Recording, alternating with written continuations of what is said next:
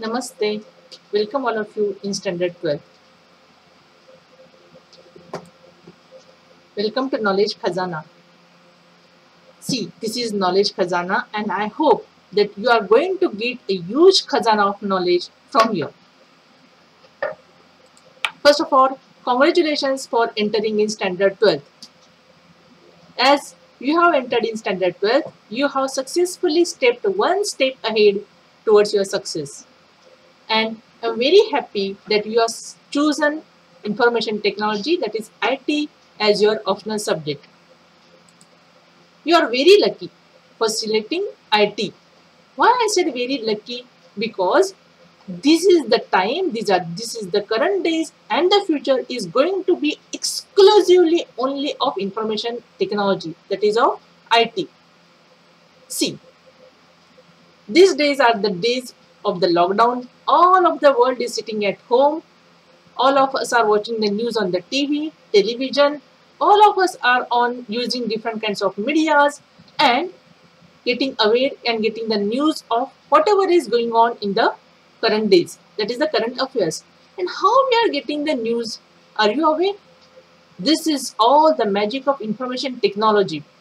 Due to it See, IT is playing a very vital role in providing the data to these media channels. To this and these media media channels, they provides us the data, they broadcast the data. So, Maharashtra board, HSC board has designed this syllabus very effectively and efficiently. They aims to equip the students the knowledge, skills and attitude to become productive employees in the areas of computer science and technology. So you are going to get the skills and competencies to enter in the world of upcoming job market. This syllabus provides you all with the foundation of higher studies. Information technology is of the most significant growth analytics for the Indian economy. Do you know why? As the data we are getting from different media medias, who provides the data? It's the role of information technology only who provides the data. So, let's have a bird's eye view on what syllabus we are going to learn in standard 12. Basically, the syllabus which is there, the page which is there in front of you is of stream science. Okay. So, some of the features, some of the tools are used for all of them like commerce, science and arts. Many tools like for example HTML5, JavaScript are used for all of us. Now see, in standard 11, all of you were about about uh, aware about the HTML. All of you have learned to design the web pages, the websites. You learn to design the websites using HTML, that is hypertext, hypertext markup language. And now, in this year, you are going to introduce with HTML5. What is this 5? So you are going to learn some extra advanced features in HTML5. Next is JavaScript. Using JavaScript, you are going to make interactive web pages and you can do whatever you want in the web pages using JavaScript. You can write the codes in JavaScript. New and interesting thing that they have added in the syllabus is PHP. See, see using PHP, what is PHP first, first of all? PHP is a coding language that is personal home page. It is a coding and most popular worldwide used server-side scripting language. So you are going to learn the PHP and design the websites. One more thing, very interesting thing is IoT. So what is IoT? IoT is Internet of Things. See, the example which is very well known to you is of, for example, smart lighting, smart locks, smart traffic signals. What is this smart? This smart technology is the integration of physical devices like uh, home appliances, vehicles, and software technologies, etc. Using those devices, see for example, smart band, smart watch, smart TV, these all are the integrations of softwares and technologies. So you are going to learn this Internet of Things that is the IoT. 5G. What is the 5G? G4 generation. This is the fifth generation of cellular network technology. We are going also going to get equipped with 5G technology.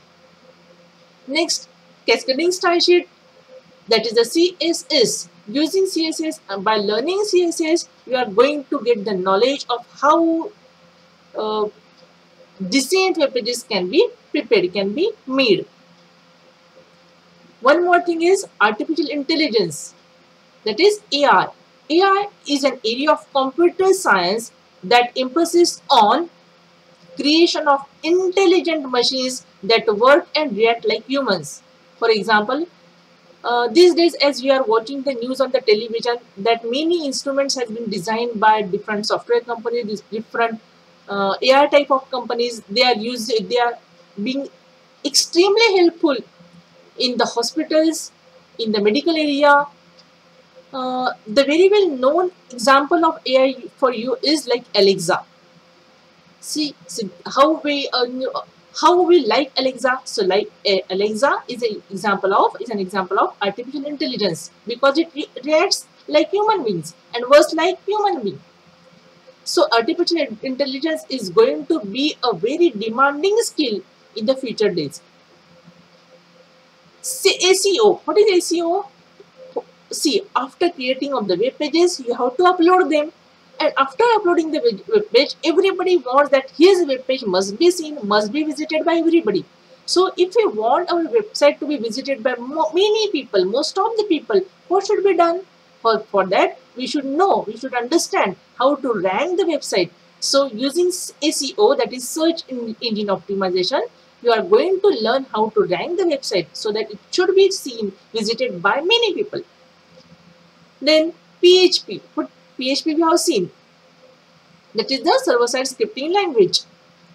So there are many, many tools and techniques, systems, settings we are going to learn and make yourself a very brilliant student in information technology. I wish you all the best and pave the way to the peak of success. Now let's start with our syllabus. So this is the syllabus designed by HSC board. This is the competency statements for information technology. So what did they expect basically from you?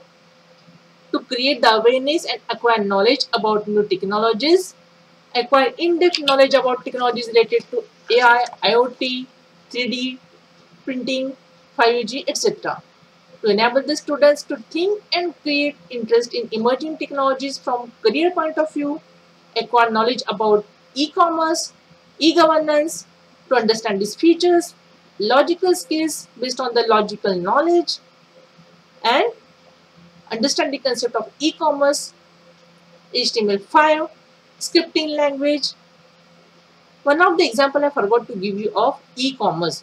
See, very well known what we are doing in these lockdown days we are using different sites but before that what were we doing we used to order many things from amazon flipkart. What is this?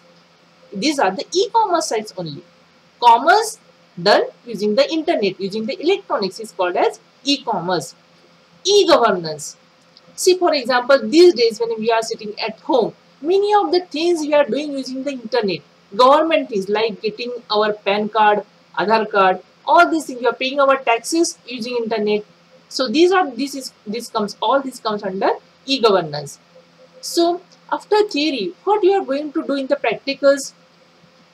You are using going to use and inculcate the web designing skills and different tags. You are going to become a confident website designer. You are going to become a programmer. Okay and you are going to your skills of PHP.